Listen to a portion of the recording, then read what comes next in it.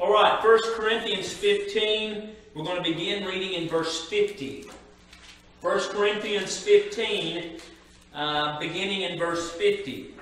The Bible says, Now this I say, brethren, that flesh and blood cannot inherit the kingdom of God. Neither doeth neither doth corruption inherit incorruption. Behold, I shew you a mystery. We shall not all sleep, but we shall all be changed.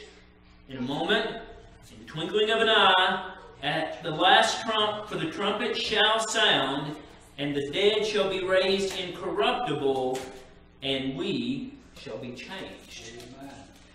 Be preaching this evening on the thought, I'm looking for a change. Dear Lord, we thank you for your goodness and watch care. Lord, we thank you for the kindness that you've shown to our church. Lord, we pray that you would add to our church as you see fit. Lord, we pray that you'd strengthen us in this last time. Lord God, we pray for our nation. Uh, we stand and quiver sometime at the thought that how she stowed you aback, Lord, and uh, have uh, give up on what you've given us. But Lord, we pray for repentance. Lord, we pray that we might see you move in a great way. Lord, be with the sinner tonight. Lord, that you speak life to them. Those that sit among us, Lord, that don't yet know you, we pray that you would manifest yourself to them tonight. We be faithful to give you the praise for it, for it's in Christ's name that we do pray. Amen. Now, some familiar verses of Scripture, uh, very much, no doubt, talking about uh, the coming of the Lord Jesus Christ, the second coming. Uh, we're going to look at it a little bit different tonight, but I do want to review some base points that we already all know, but is worth uh, saying. Uh, he begins, Now this I say, brethren. He is addressing people who are saved. And throughout the Bible, many times it's uh, addressed brethren, but he's talking to the church. That's the female members as well, the sisters in Christ. Uh, they're included in this. And he says, Now this I say, brethren, that flesh and blood cannot inherit the kingdom of God. Now I want you to notice two things. Uh, irregardless the way we go, if we go by the way of the grave or go by the way of the catching away, either way, this cannot inherit the kingdom of God because it's corrupt, it's sinful. He did not he did not save this housing when he saved my soul, but rather he saved the inner man, and that person is eternal. Now I'll go even further to say this, whether you're a believer here or not, if the Lord's spoken life to you or not, your soul is eternal.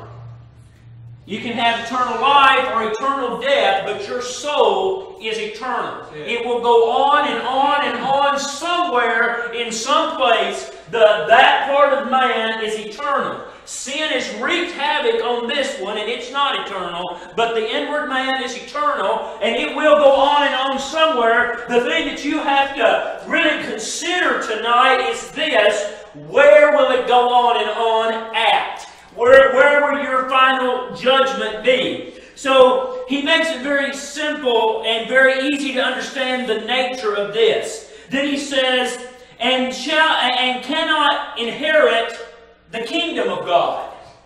Now, we'll make some delineations. The kingdom of God is the abode of God in heaven. When we're called away to the third heaven if we go in the rapture, or if we give up this life and we go on to be with the Lord, that is the kingdom of God. The kingdom of Christ will be here on earth. He will rule literally for a thousand years from the throne of David, and he will be king here. God Jehovah is king there, and he says, We can't go there in this. We have to, and you know, one of the most difficult things after uh, 260 years of peace and prosperity in our nation, we don't even understand what a monarch is. That, that is a ruler that if he says jump, you ask him how high would you like me to jump. And, and we don't understand that. We are so, so prideful in our freedom. And I'm glad we've been placed in a free country. But listen, it's nothing to boast about. We have to understand a kingly authority. In that, in that dominion we will. So he reminds us, uh, of the situation of the catching away and being removed from this place. Verse 51 Behold, I shew you a mystery. We shall not all sleep, we shall not all die, we shall not all go to the grave, but we shall be changed. Yeah. Now, we know that that is a physical change. We are going to look different. We're going to present different. I don't know what the, the, the new body will appear like. I know when John saw his vision, he looked and saw one walking in among the candlesticks, and, and he had a, a white robe on. I believe that to be the person of Christ. I don't uh, know what we'll look like, but I do know we'll be different because it says you'll be changed. You, you will be different. The Bible also says there will be neither male nor female. I do know that that is a piece of it. I don't understand all of the kingdom of God, but I do understand those two pieces. It will be very, very different than it is here. Now, in addition to that, and again, we all know these things concerning uh, the catching away of the uh, uh, of the Lord's people, but I, I, I want to I want you to think about this tonight is being changed. Now, not this corruption putting on incorruption, which is what verse 53 says, or 52, excuse me. Have you been changed? Now, if you've not been changed, you're not saved.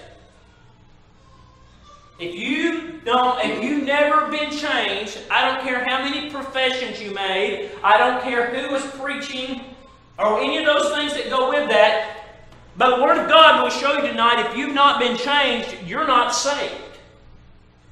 If you haven't had some kind of effectual change in your life, all you have is a profession. All you have is I said so. All you have is this is the way that I perceive it. And listen, dear friend, that's not enough to face eternity with. If you've not been changed, you need something. You desperately need something because listen, eternity's coming, eternity's real. Amen. And so we see then, we as the Lord's people uh, certainly need to make this thing known that the changing is something that we have to look for. It's not a real pleasant teaching today, but we do have to look for it. Go with me to the Gospel of Matthew now. Matthew chapter 7, and we'll begin reading in verse 16. The Lord Jesus famous Sermon on the Mount, Matthew uh, 7, verse 16. Matthew 7, verse 16. The Lord Jesus says in His own words, You shall know them by their fruits. Now, who is He addressing? Well, He's addressing individuals. He's addressing a large number of people, including the apostles. And I will just throw this in they weren't apostles yet because that office had not been created by the Lord Jesus yet. So they were disciples, they were followers of Christ, they were disciples of John. There were just a multitude of people there, and he says very clearly, You'll know them by their fruits. You don't have to ask them, Have you been born again? You'll know them by the fruits. That's not popular teaching today. Now, that doesn't mean that we go around and judge. But you know what? And we'll see in a minute, there are things to look for. And if they're not there, then I become concerned. Do I think they're lost? I'm going to say, You're lost, you need something different? No, no. But it does direct my prayers because if this word is true, and it is, then we can look and say, Uh oh, we have a problem. And um, uh, so we as the Lord's people then, we need to understand and know that, that the reality is that we have to look for changes. We have to look for differences. We have to look when someone says, I've been saved, we have to look for fruit. Verse 17. Even so, every good, good tree bringeth forth good fruit. It just makes sense don't it? If it's a good, sweet tree, it'll bring good, sweet fruit. If it's a corrupt tree, it will bring forth corrupt fruit. That is so easy to understand that we don't even grasp the knowledge of it. You know why? Because huh, we perceive lying as compassion. Right? If I took in my hand someone that I knew, that I just read their entire workup from pathophysiology, and I knew that they were dying with cancer, and I knew they only had a day or so to live, if I went in there and said, hey, you're going to be fine, I would never do that as a nurse.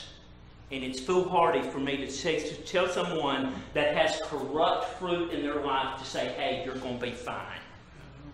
It's a lie. It's a lie. And so then we, we can look very, very easily then and, and say, okay, do I have these things in my life? Do my children have these things in their lives? Do my grandchildren have them present in their lives? Because this is fruit. Verse, uh, verse 20, very quickly. Wherefore, because of, therefore, by their fruits ye shall know them.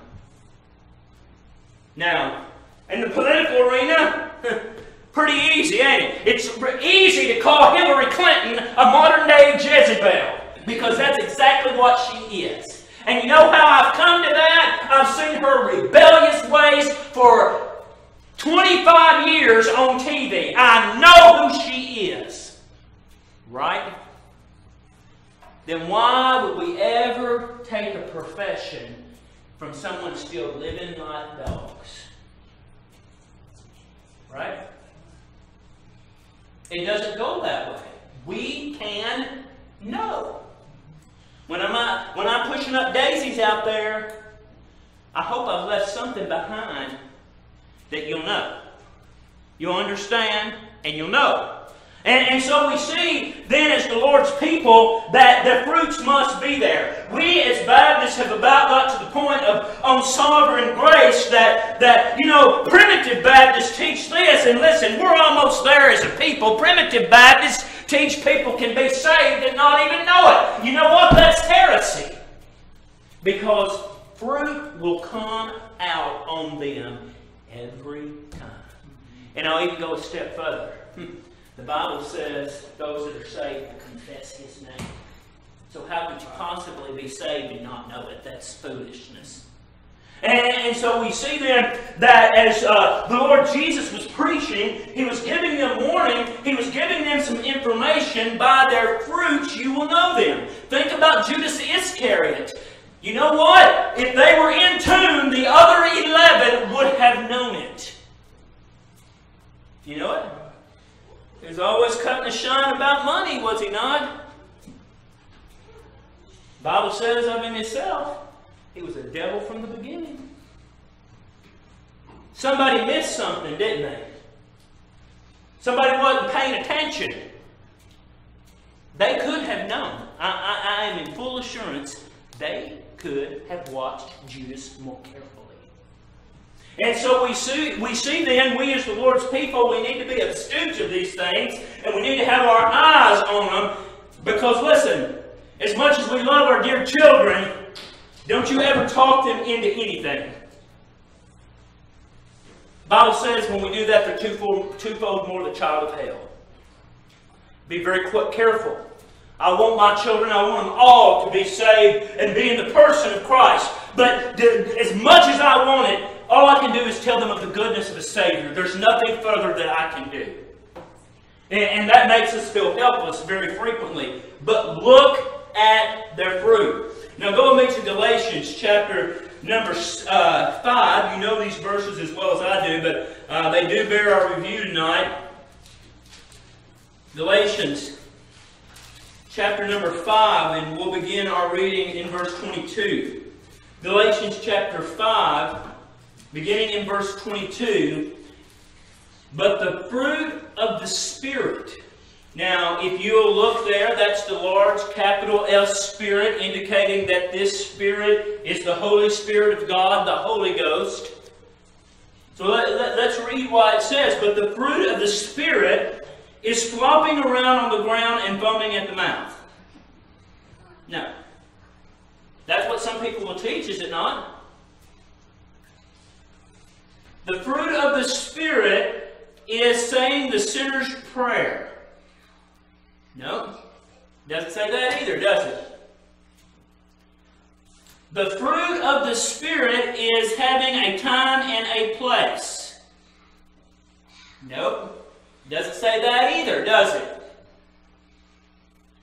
The fruit of the Spirit is love. You know, people that present continually with a haughty, hateful spirit, they're missing the first one. Are they not?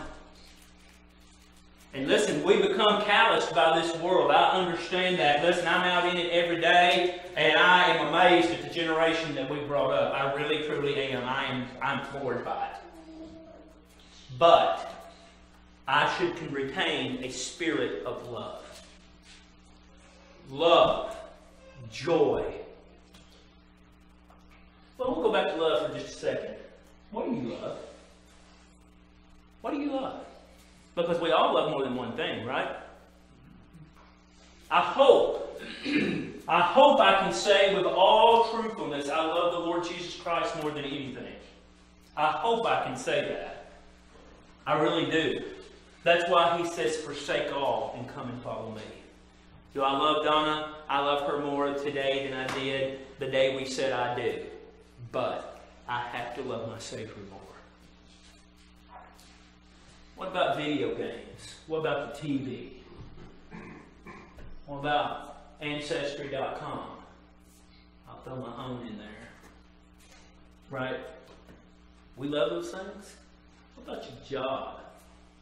What about your pickup? What do you love?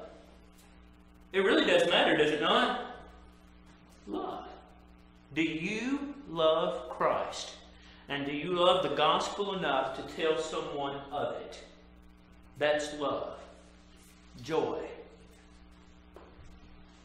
You ever, ever went in somewhere and just like Eeyore comes in the room with you and that dark cloud and like, oh, oh, it's me. Ain't much joy there, is it? You met those people, just a black rain cloud comes with them everywhere they go. Uh, I mean, the glass is never half full. Right? Does that speak of the things of God?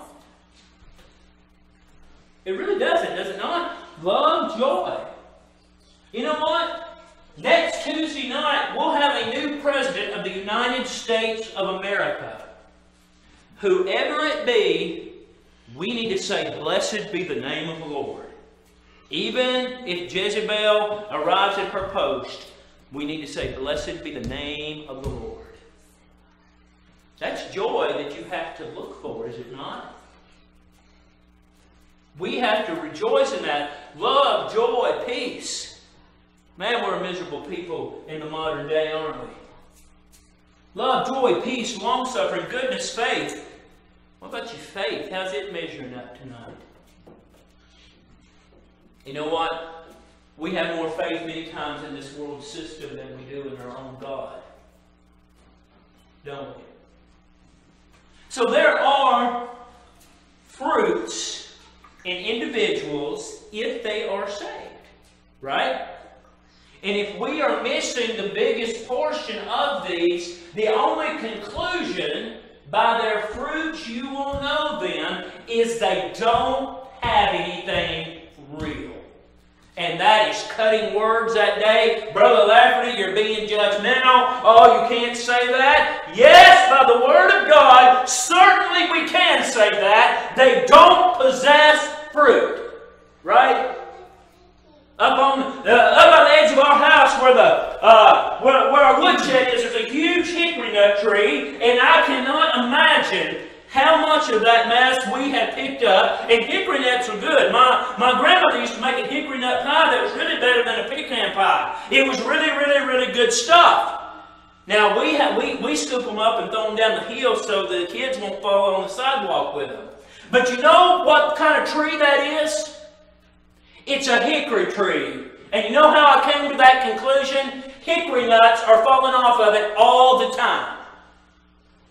And so if we don't have these fruits, how could we possibly claim the blood of the Lord Jesus Christ? You know what? What you really do when you do that, you say, "Oh yes, I'm saved," and you run your boss down, you run your you run your pastor down, you run your church down, you run uh, you drag whoever you can through the, the the mud.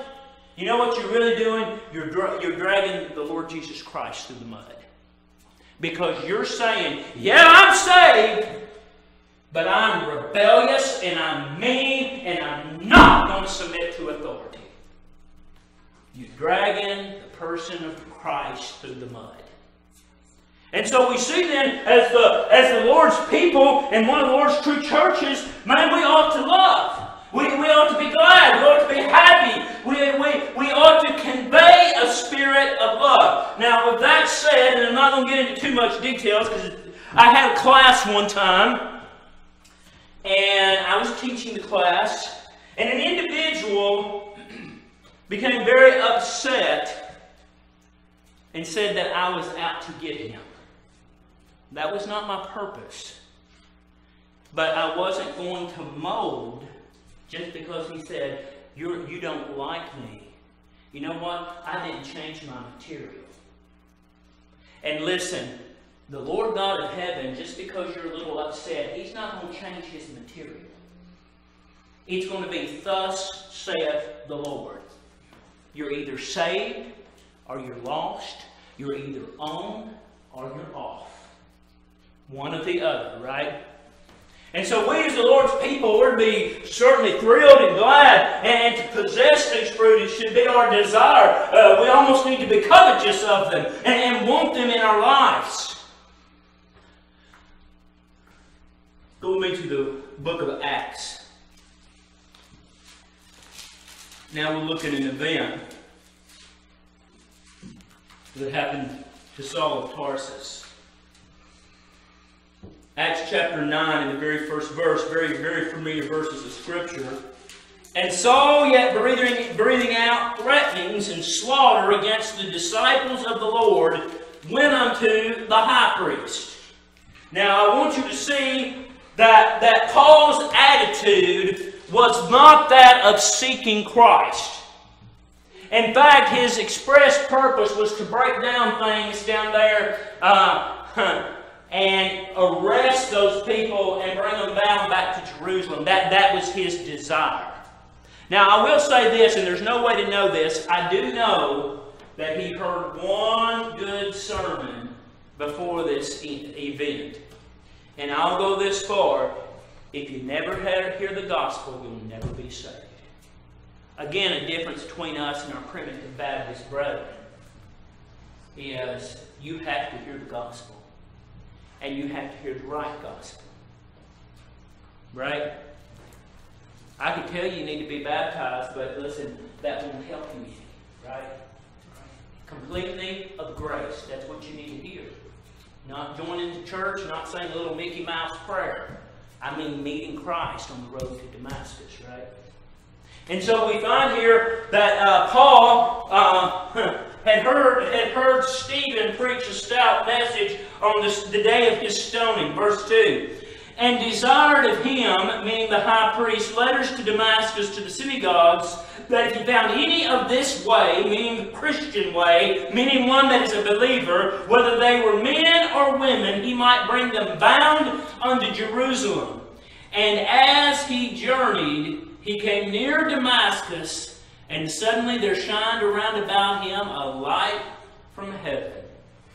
Now, when the Lord saved me, I didn't see no light. But I'll tell you this, the light was turned on. Because for the very first time in my life, I saw myself completely helpless and hopeless. And if you've not seen yourself in that light, you're not saved. Very well meaning people will say, Do you want to go to hell? Well, I never known anybody. I mean, I, you know, I really want to go to hell. That would, that would be, that'd be thrilling. That's foolish. What they need to be asked is have you been convicted of your sin? What they need to be asked is do you do you uh, you understand and know you're lost? They need to be told do you understand and know you're in desperate need of a Savior?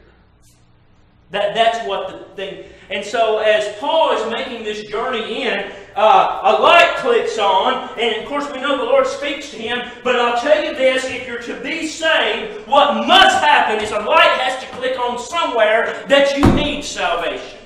A light has to keep, click on somewhere how dreadful and wicked you really are. And if that's not happened, listen, you're still lost. You can say it what you will, you can go where you want to, but listen, you're still lost. And if you made one of your little pity pat prayers and you've gone through the Romans road and all the foolishness that goes with that, and you're still in rebellion to your parents, you're in rebellion to God, you're in rebellion to your wife, listen, dear friends, you're still lost.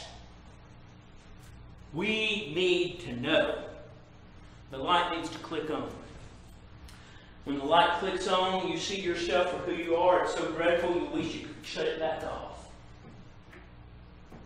You know, and, and, and that's an ongoing thing even for the believer. The longer I'm saved, the more appalled I'm at at depravity. And I'm talking about my own depravity. And so if you're if you're look if you've never seen yourself fully depraved, you're not saved. If Christ doesn't come first, you better call, make your call in the election sure. You better know what you have. Verse 2, uh, verse 3. And as he journeyed, he came near Damascus, and suddenly there shined around about him a light from heaven. And he fell to the earth, and he heard a voice saying unto him, Saul, Saul, why persecutest or punish or hinder thou me? Now, listen, the day the Lord saved me, I didn't hear Larry, Larry. But I do, I did have this. The gospel meant something to me more than it ever had before. I don't even remember hearing the gospel for the first time. I truly don't. I was in church so young, I, I don't even remember. But I do remember this when it became effectual to me. When it went from being a routine thing till it made me, that light came on, I saw how sinful and how needy I really was. And then him say, Larry, Larry. You know, if, if you don't have something that aligns with that, you, you need it. You desperately need it. Listen, th- this thing is almost wound up. We are almost done. We are going home. And we sit, we sit by idle and have dear loved ones just go on about their business. We need to realize this. Verse 5. And he said, Who art thou, Lord? I am Jesus whom thou persecutest. It is hard for thee to kick against the pricks.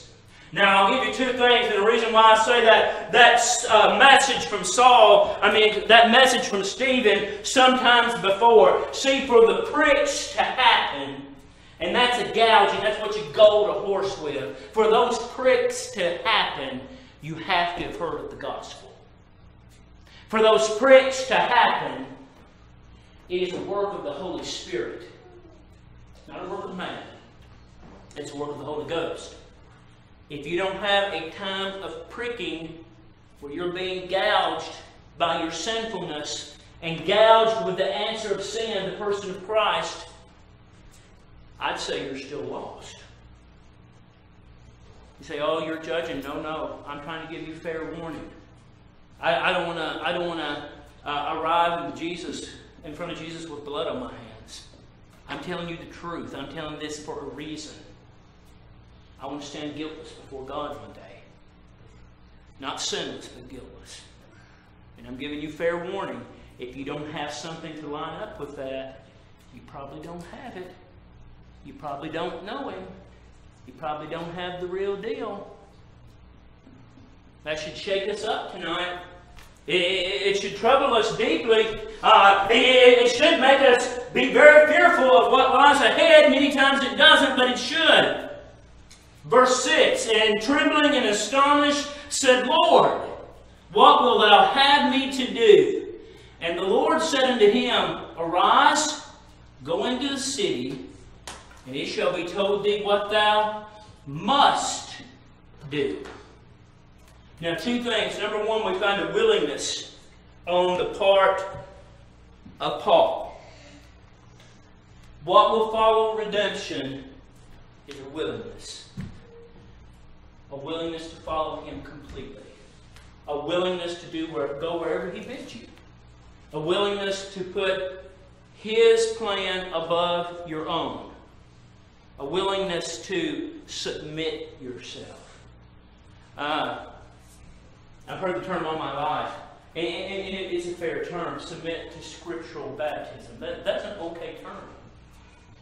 Submitting is the, it is the thing. Another thing that follows those that are redeemed is submitting to a church, aligning themselves with one of the Lord's churches, submitting to your wife and or your husband, submitting to your mother and dad. And I don't care how old they are or how young they are. If mom called me right now and said, son, I need you to come over here, I'd be on my way. You know why? Because I'm submitted to her authority, even today.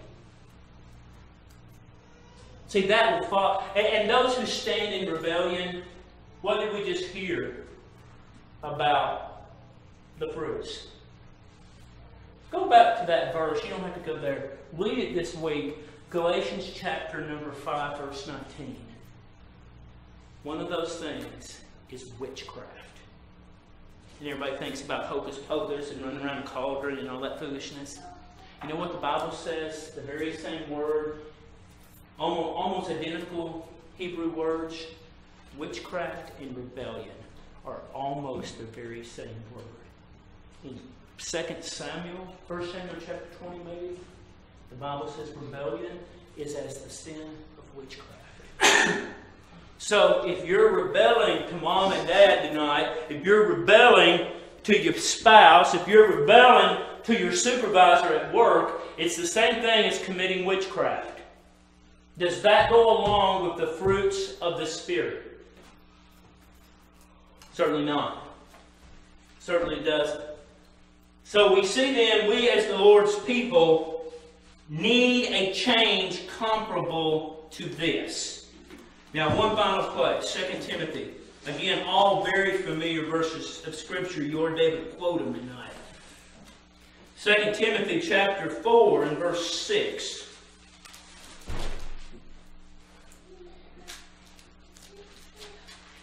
Paul writes, For I am now ready to be offered, and the time of my departure is at hand.